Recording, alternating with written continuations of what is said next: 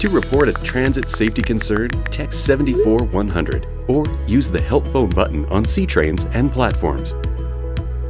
For emergencies, call 911. For safety concerns, text 74100.